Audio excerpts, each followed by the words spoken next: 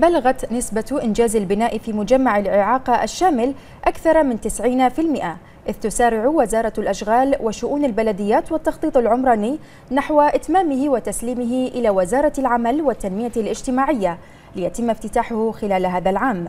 ويأتي إنشاء مجمع الإعاقة الشامل ضمن برنامج التنمية الخليجي وبدعم من الصندوق الكويتي للتنمية الاقتصادية العربية بتكلفة إجمالية تزيد على ثمانية ملايين ونصف المليون دينار بحريني حيث من المتوقع أن يصبح المجمع من أكبر المجمعات والمراكز المتخصصة في معالجة وتقييم حالات ذوي العزيمة على مستوى الشرق الأوسط.